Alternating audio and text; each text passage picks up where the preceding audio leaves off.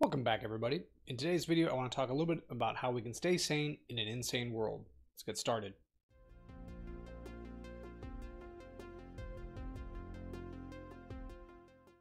But first, some housekeeping announcements. My new course, Deep Q Learning from Paper to Code, is on sale right now at Udemy for $10.99. Link in the description. So let's get to the topic at hand. So I'm not going to say the words because of the YouTube algorithm, but you know what's going on, you know what's going around the world, and you know that we've all been corralled into our homes to kind of huddle in fear and to await the end of the seeming apocalypse. Now, far from being a doomsday type scenario, I assure you we will eventually achieve some new state of normalcy. I don't think it's going to go back to being what we had uh, ever. Honestly, I don't think there's going to be a return to life as it was, but we will achieve a new equilibrium, a new sense of normal, and we'll go about our daily lives in the new normal. In the interim, you have an enormous opportunity in front of you. While it may seem that the world is going insane and you know you're going to lose your mind staying inside, the reality is that this is probably one of the biggest chances in your life to kind of cocoon yourself and to do the butterfly type transformation you've always wanted to do. So let's talk about how you can turn this seeming negative situation into one of the greatest times of your life. Step zero is to wrap your mind around the fact that this is going to last a while. Now, I am not a pessimistic person by nature, but logic dictates that we're going to have to be holed up for quite some time. And when we emerge, uh, things are going to start to spread again, and we're probably going to have to go back into hiding at least a while longer. So you need to wrap your mind around that, be prepared for that mentally, uh, and just understand that. Don't hold out false hope that within a few weeks things are going to go back to normal because they're not. So step zero is get your mind around the fact that we're stuck here. You need to make the most of this time while you can. Step one, uh, this isn't related to career or personal development, but I would strongly suggest that you take advantage of this time to reinforce connections with those in your life. Uh, if you've ever lost anyone, you know that one of the worst pains in life is the things left unsaid, so leave nothing unsaid for those that you care about. Uh, call your friends, your family, make sure they're doing okay. Provide any morale support you can. Provide any you know shoulder to cry on that you can from a safe distance, of course. Uh, do whatever you can to strengthen those bonds because they are the most important thing you have in your life, even beyond your career, even beyond your future.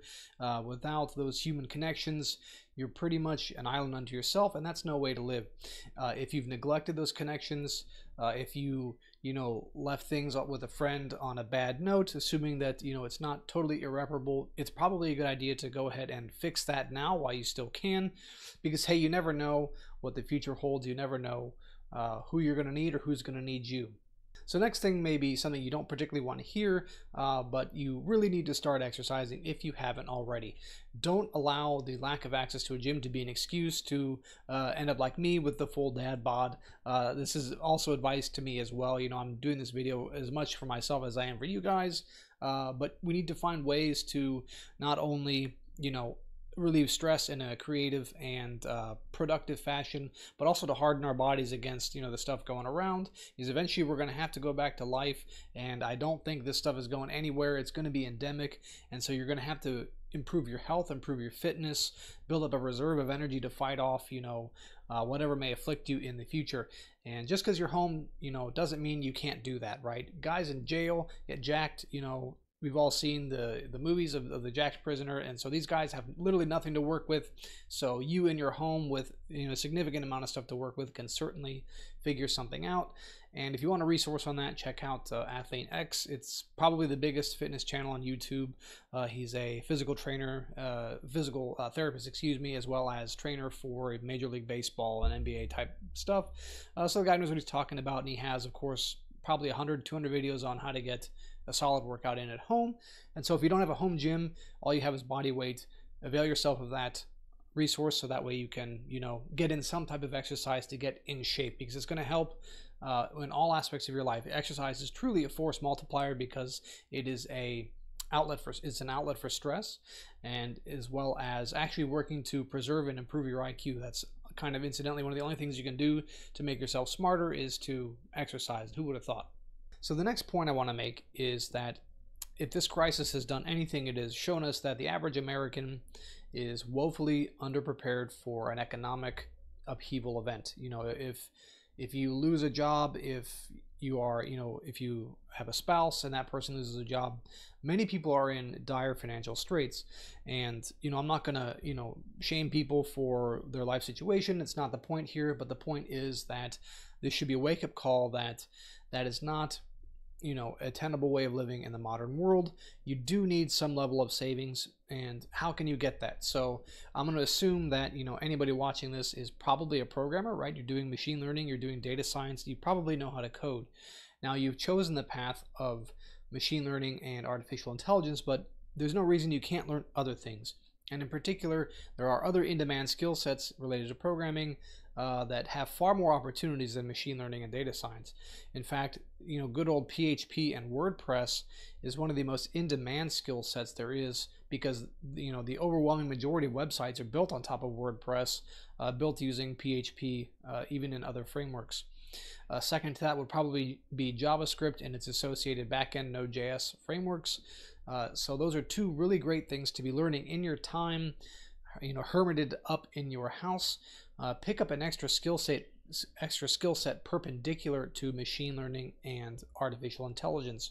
That'll give you the ability to go out and hunt for yourself, so to speak, to be able to do sales, to increase your income on your own through various freelancing websites. Now, I'm not I'm not bullish on uh, Upwork in 2020. I have kind of left the platform a year ago. I've had a number of bad experiences, but all of that was in the, the old world, right? The the previous way of doing things now that uh, having income is essential. You know, having as much of it as possible is even more critical than ever, and an even bigger opportunity than ever.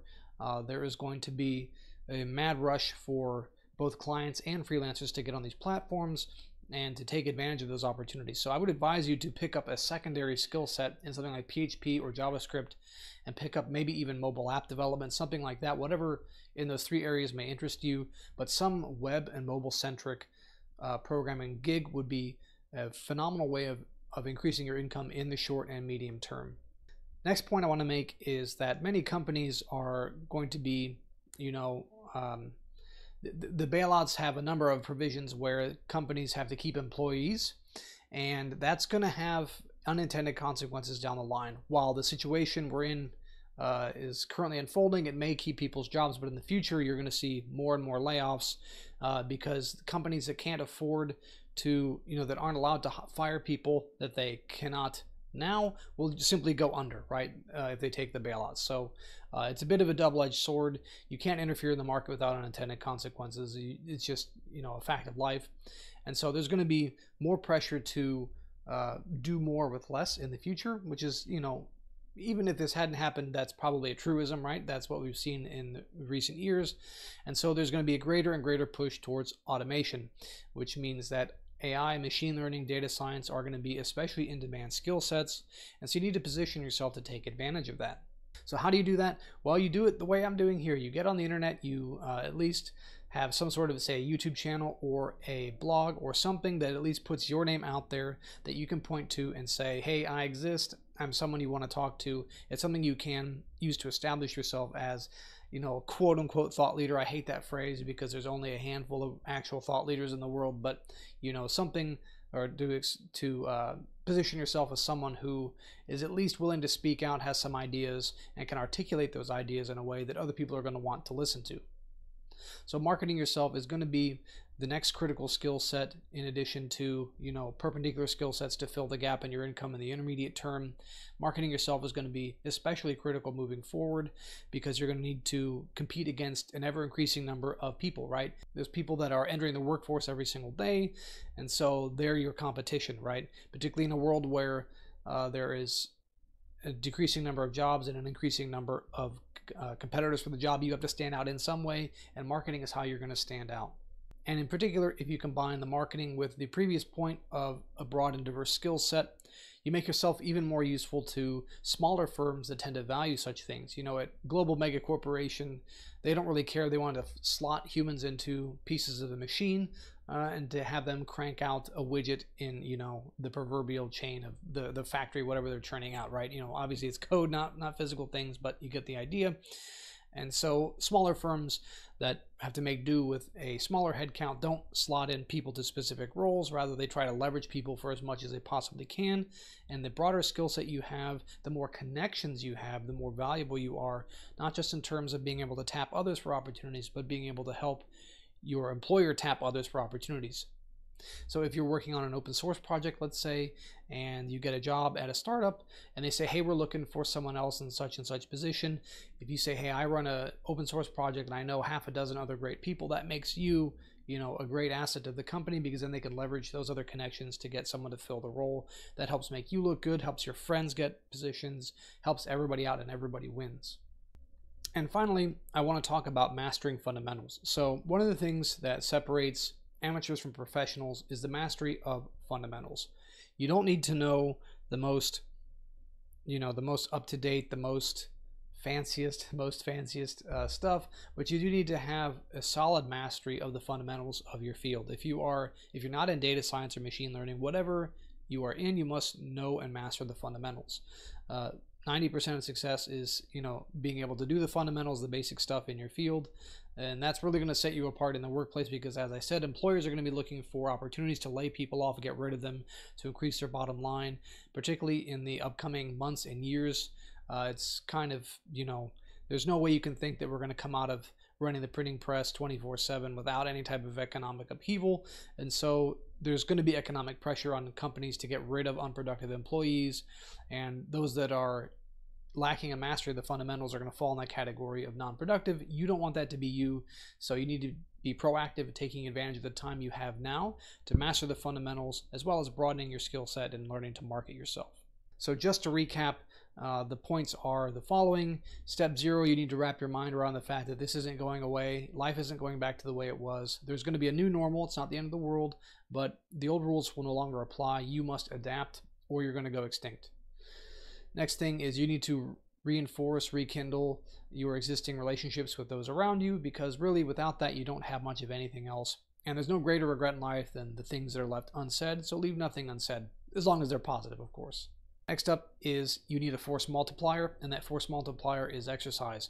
That'll give you the ability to relieve stress, the ability to improve your health so that way you'll be more resilient to the stuff going around, as well as, you know, help you to stay sane in a time when you can't go out and, you know, run around and do the stuff you used to do. Exercise is a great outlet for that. Uh, there's really no downside to it. Next is going to be picking up a perpendicular skill set. Most of us are in machine learning, AI, that type of stuff, and so I would recommend as a perpendicular skill set something like web development, app development, because there's still a huge market for that, and uh, it's going to be an easy skill set for you to acquire if you already know how to program.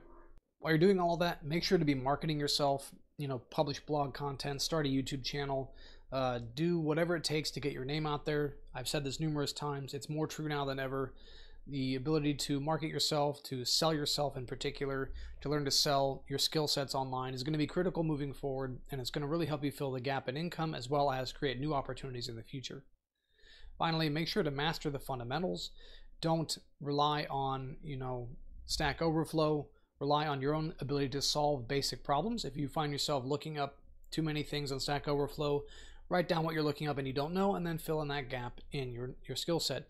And, and if, anything that you look up should be, you know, hyper specific, something very, very uh, niche to whatever you're doing. You should have a solid mastery of the fundamentals because that's going to set you apart from the most people and going to help you retain whatever position you're able to land in the new world. All that said, that was just my opinions. You know, I don't claim to have a corner on the market of truth. So if you have differing opinions, leave those below. If you agree, you disagree, I'd love to hear from you, what your experiences, what your thoughts, what your plan is for dealing with the current situation. If you found this helpful, please share, leave a like, and don't forget to subscribe and hit the bell icon because I know only something like 13% of you get my notifications. And also don't forget my new course, Deep Q Learning from Paper to Code, is on sale right now on Udemy for $10.99. Hit the link in the description to find that course on sale. I look forward to seeing you in the next video.